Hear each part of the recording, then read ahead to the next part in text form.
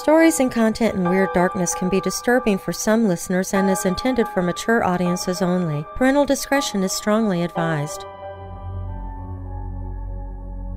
The Mandela Effect. That phrase never meant anything to me. Spooky, I guess, but it wasn't something I thought about for more than five minutes. I mean, honestly, until college, I didn't even know what it was. I'm not one for conspiracy theories or ghost stories or anything like that, so what would you expect? I wish I was still so ignorant. I'm Darren Marlar, and this is Weird Darkness.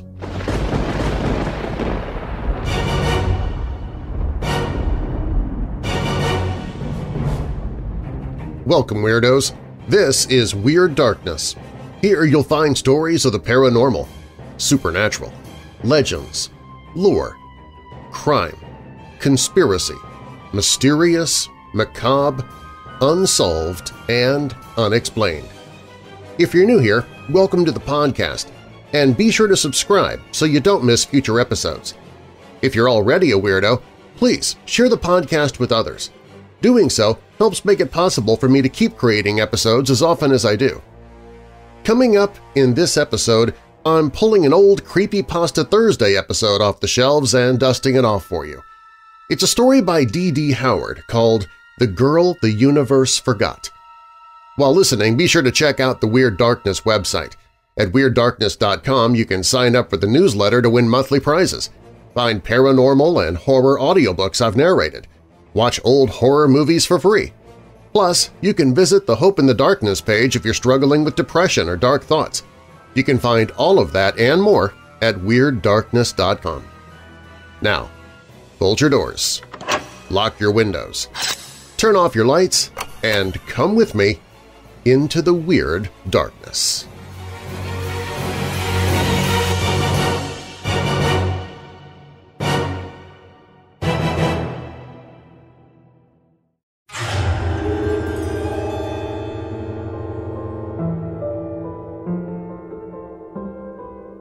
It all began in my life science class.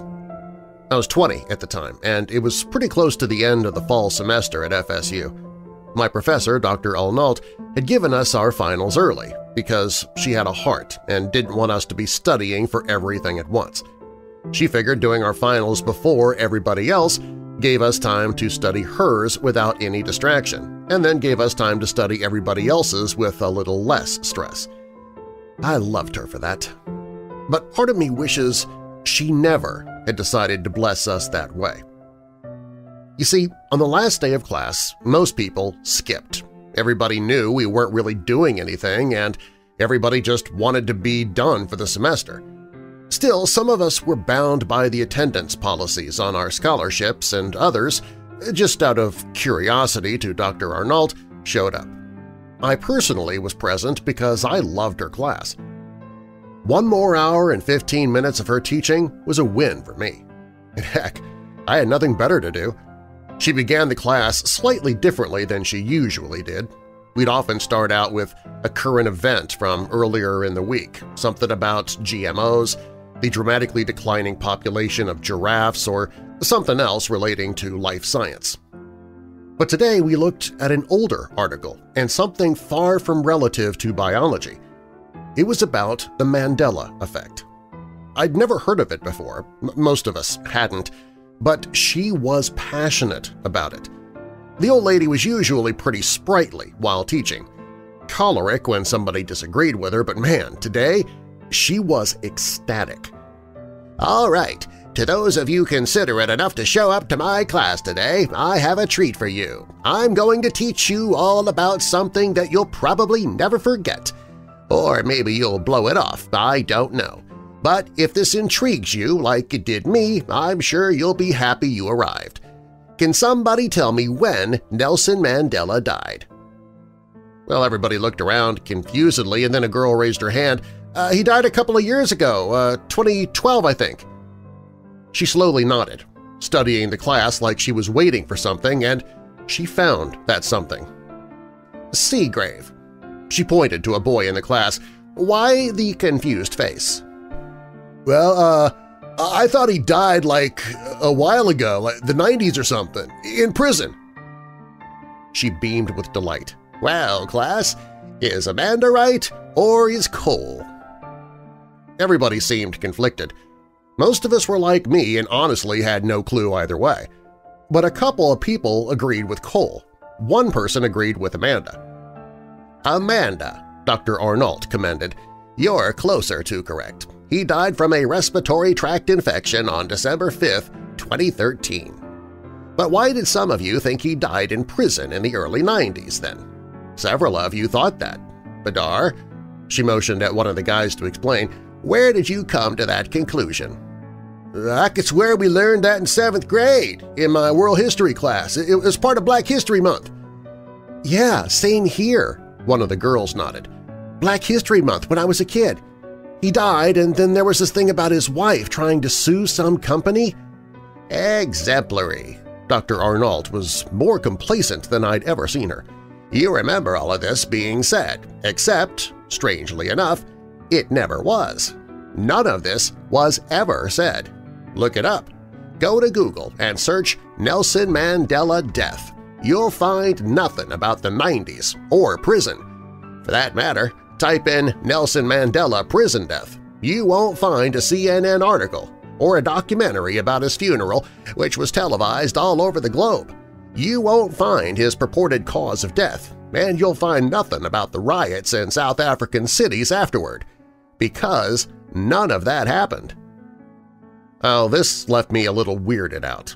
Most of the class was silent now and waiting for her to make some sense of this. It's a phenomenon known as the Mandela effect, she grinned. A complete mystery, an enigmatic anomaly on Earth with no scientific explanation. And from that point, the hour and 15 minutes flew by. I thought five minutes had elapsed when it was time to be dismissed. It left me absolutely mind-boggled. Basically, it's this theory that Nelson Mandela did die in prison in the 90s. But then something happened that somehow reversed this event, and he went on to live decades longer before dying again in 2013. Though some of us don't remember Mandela dying in the 20th century, others do. They remember the news coverage, the papers, the heartfelt speech from his widow, but all of it vanished from the universe when this event took place and rewrote history. And all that's left now is this huge collective memory. These people that know he died like this and all remember that same thing somehow, but it's wrong. Personally, I don't remember being told Mandela died in the 90s, but a lot of people did, and still do. There are two theories behind it. The first and less common is time travel. They say somebody went back in time and altered an event just slightly, but it created a ripple effect that resulted in something changing dramatically. Here's just a made-up example for you. Bob married Sally. Bob and Sally met downtown some time back in August of oh, 2005. Bob's dog just got ran over and he was grieving, and when he saw Sally walking her dog, he couldn't help but walk over and talk to her. Before long, they were in love and married. Well then, Jake goes back in time to that same town around the same time. Jake's driving on the road about the same time Bob's dog got run over, but since Jake's driving and he's in front of the car that hit Bob's dog, and since Jake is a better driver, he comes to a halt and never hits the dog. The dog runs back over to Bob completely fine. So now, when Bob goes downtown, he doesn't think twice when he sees Sally walking her dog, and they never say a word to each other.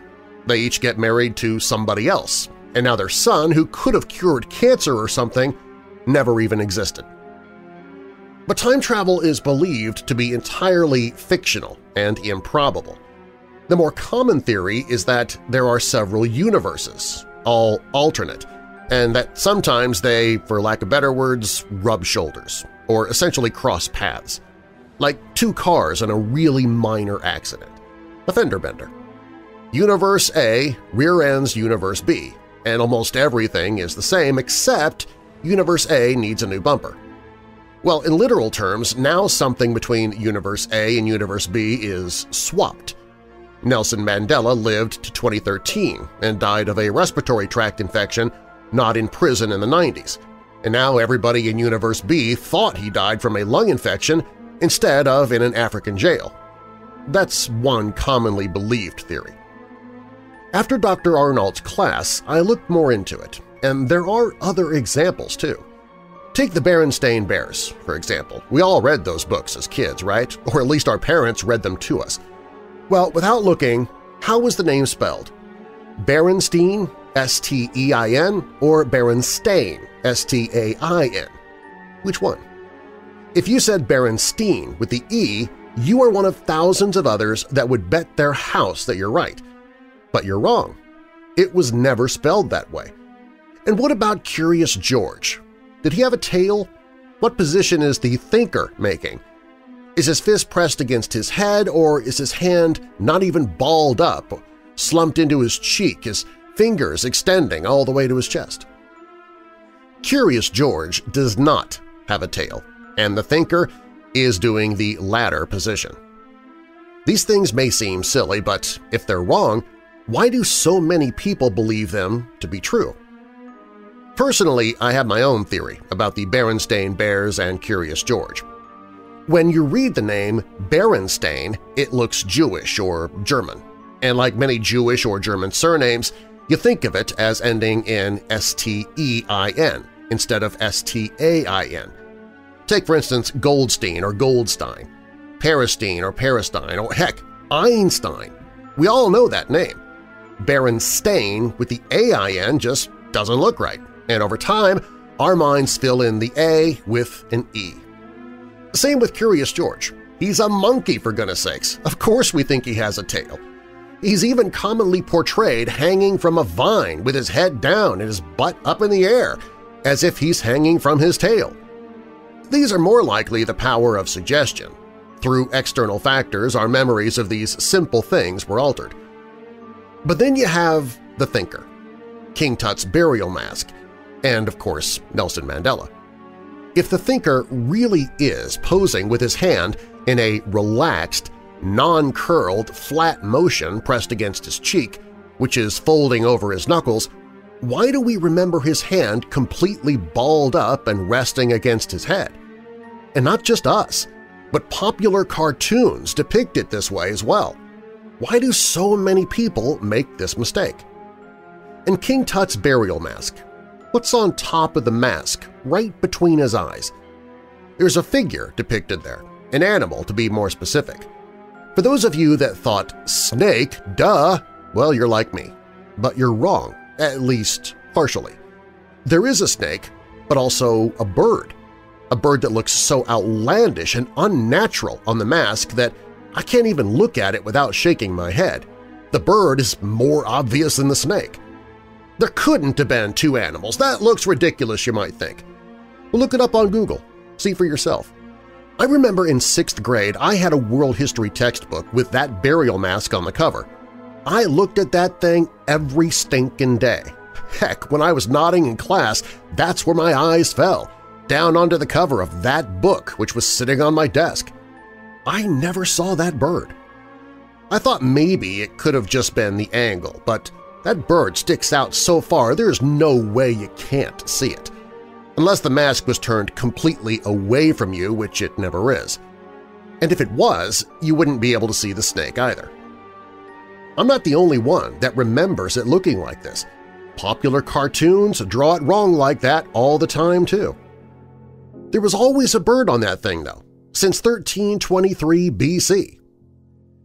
Well, enough of my rambling. You might be wondering what all of this has to do with me. You see, after Dr. Arnold's class that day, I couldn't get this off of my mind. I was so spooked out by it, so morbidly intrigued that it just occupied my thoughts.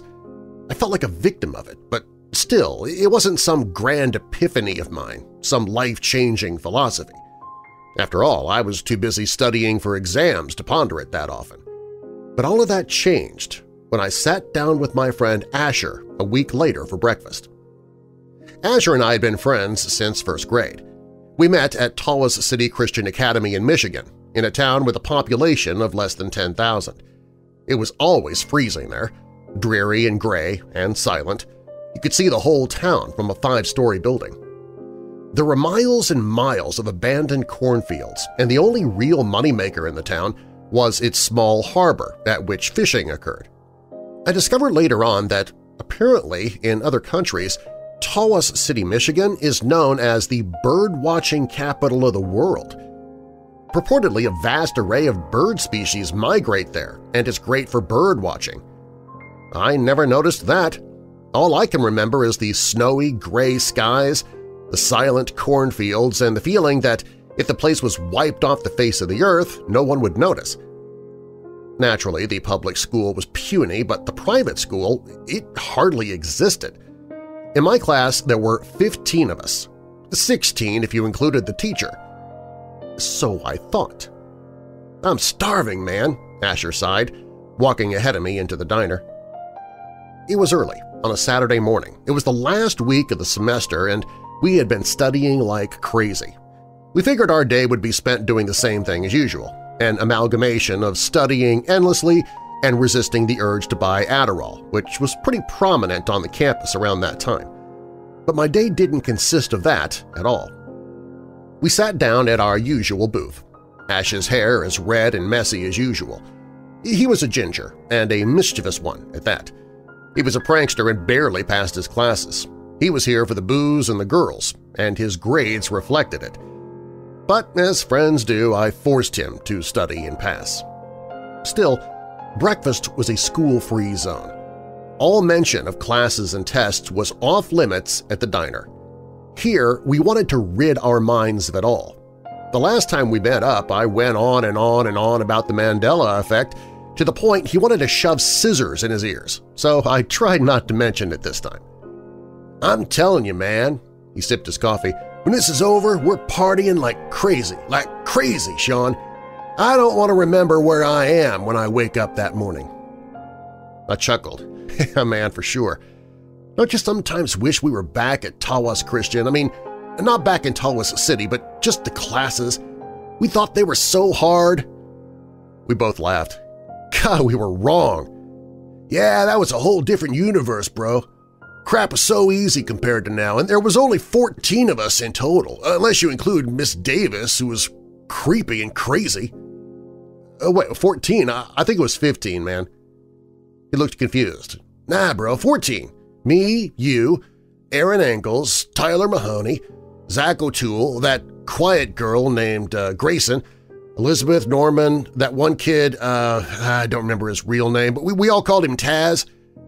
We called him Taz because he talked so fast nobody could hear what the heck he was saying. I chuckled as I remembered him. There was Brian Reed, Amy, uh, the twins, George and Jordan Reynolds, and, and that one nerdy kid, uh, Dylan, and then Miss Davis, that's 15, including her. And Eve. He squinted his eyes. Who? Eve. The shy girl, remember? Short blonde, brown eyes, didn't talk to anybody. He shook his head. That was it, man. There was 14 of us.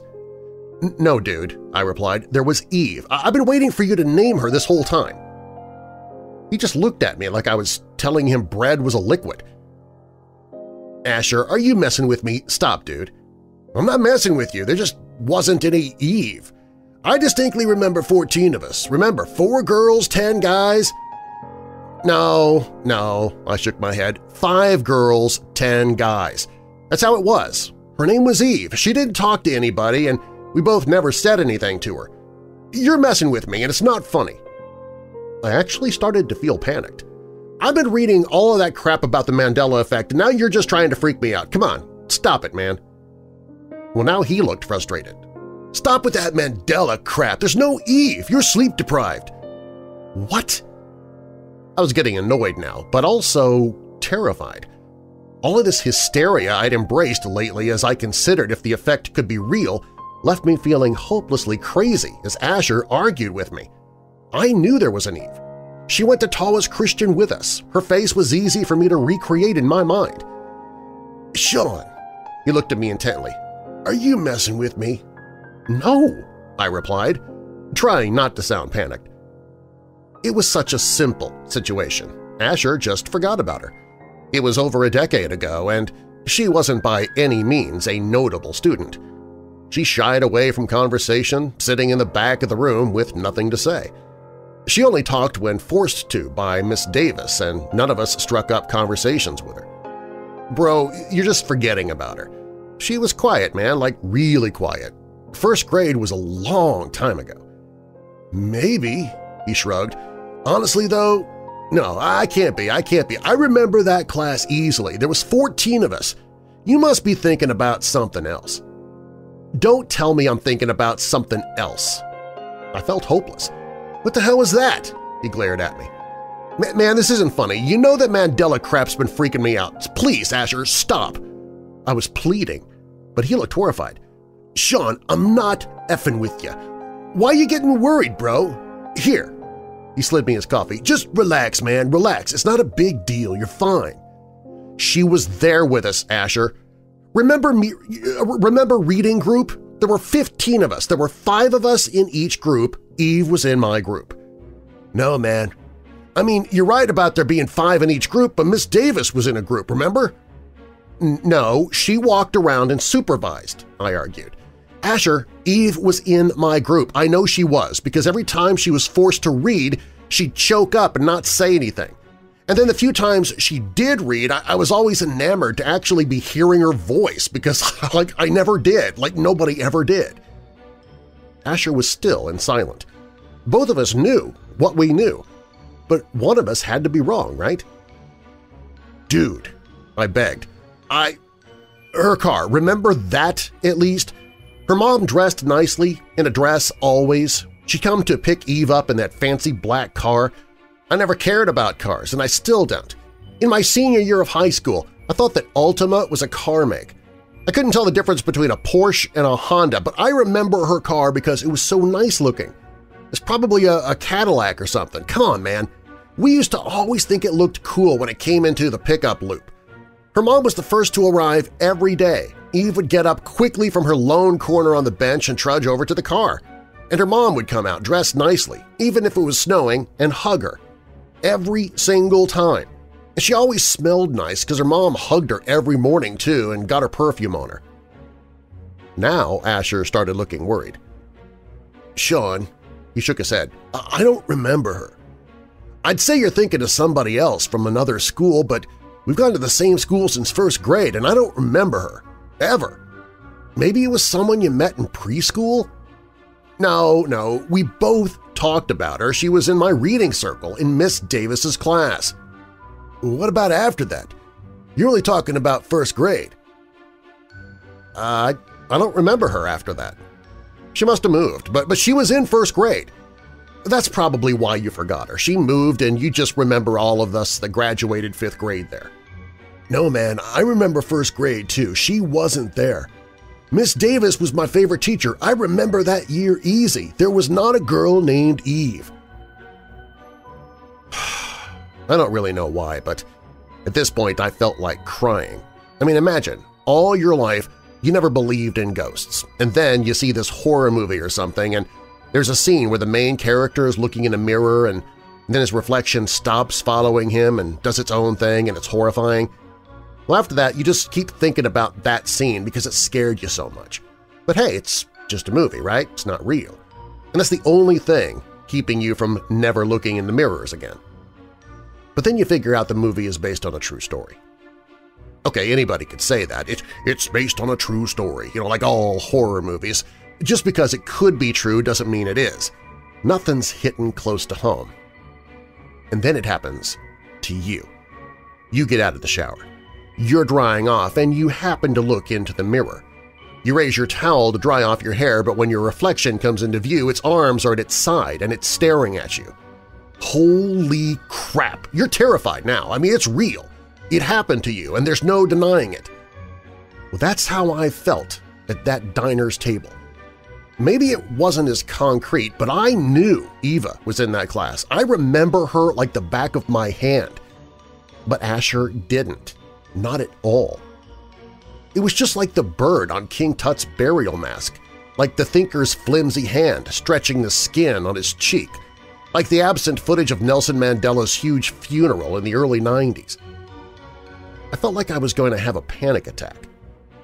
For the rest of the day, I didn't study anything. I was too overwhelmed.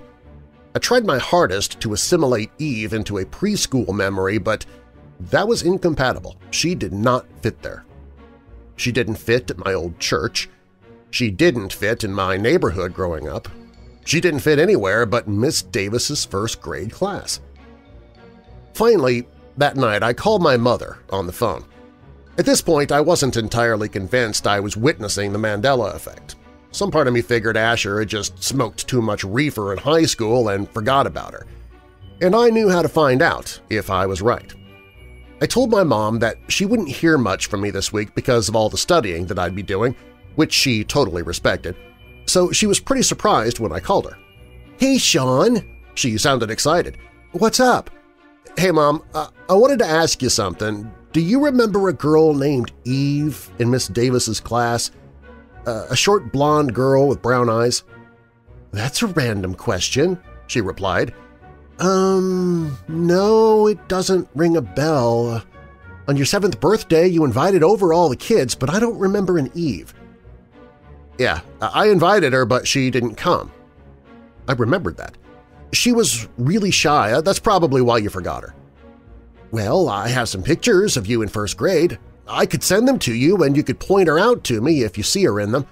Why are you asking anyway, honey? Well, Asher doesn't remember her either. It's just kind of weirding me out a little. I chuckled, trying to hide my nervousness. Yeah, it'd be, uh, it'd be cool if you sent those pictures. Do you have the one of the whole class? The one with all 14 of you? The words left me severely uncomfortable. Uh, 15. There were 15 of us, Mom.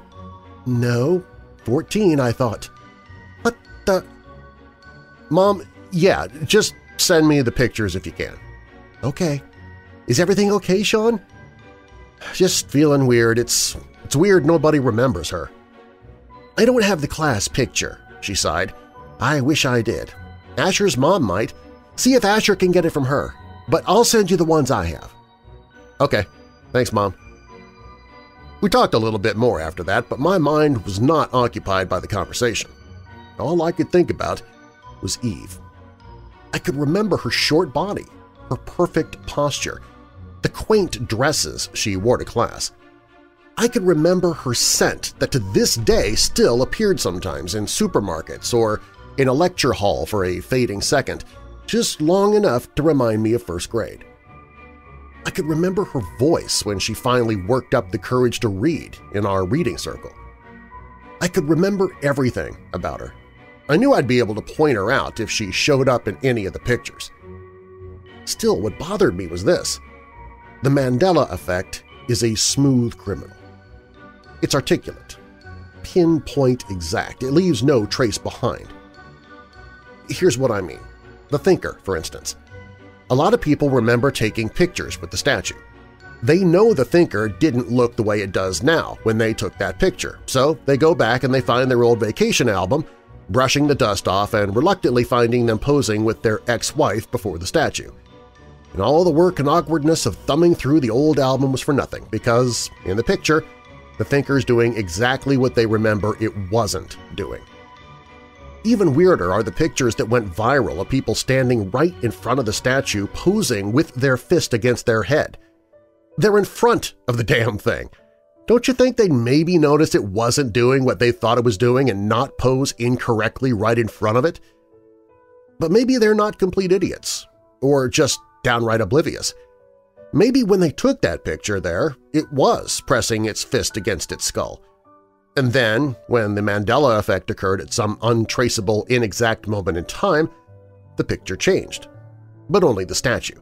It left everything else that wasn't the statue the same, resulting in the bizarre image of people posing incorrectly right in front of it. I knew that if this was the Mandela effect that I was dealing with, there'd be no point at all to receive these pictures. Whether or not Eve was standing there when the picture was taken 13 years ago, she wouldn't show up in them now. The only way to catch the Mandela effect is through relative things, like the people posing wrong in front of the statue. And this wasn't relative. If the universe pulled Eve from existence, then she wouldn't be present in any of the Polaroids. But I wanted to check, anyway. Maybe something would stand out. My mom sent four pictures. The first was of me, Asher, Brian Reed, and Taz, and Norman playing at aftercare one day in the mud. The second wasn't useful either, just me and Asher sitting at a picnic table one night at open house. The third picture, however, was interesting. It was of the Christmas concert. All 15 of us were taught three church songs to sing at the concert, and our parents came and watched. It was humiliating for all of us, except maybe Aaron, who was born to be a star, but it was especially embarrassing for Eve. This photo jogged my memory immediately, and what made it so strange was the formation of the girls. In the picture you can see all of us on stage. There's one riser on the stage and some of us were standing on it while the others were standing in front on the stage itself. On the left side are the boys, five in front and five on the riser.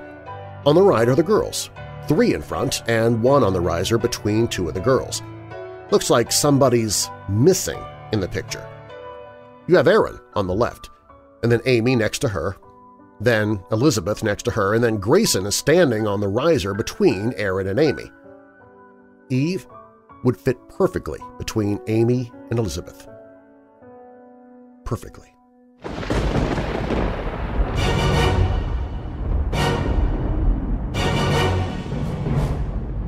Thanks for listening. If you like the podcast and you haven't already subscribed, be sure to do so now so you don't miss future episodes. And also, please tell someone else about the podcast.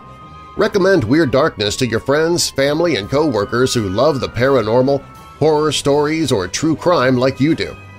Every time you share the podcast with someone new, it helps spread the word about the show, and a growing audience makes it possible for me to keep creating episodes as often as I do. Plus, telling others about Weird Darkness also helps get the word out about resources that are available for those who suffer from depression. So please, share the podcast with someone today. Do you have a dark tale to tell of your own? Fact or fiction, click on Tell Your Story on the website, and I might use it in a future episode. The Girl the Universe Forgot was written by D. D. Howard and is of course a story of fiction. Weird Darkness theme by Alibi Music. And now that we're coming out of the dark, I'll leave you with a little light. John 3 verse 17 For God did not send His Son into the world to condemn the world, but to save the world through him. And a final thought by Robert Schuller. Tough times never last, but tough people do. I'm Darren Marlar. Thanks for joining me in the Weird Darkness.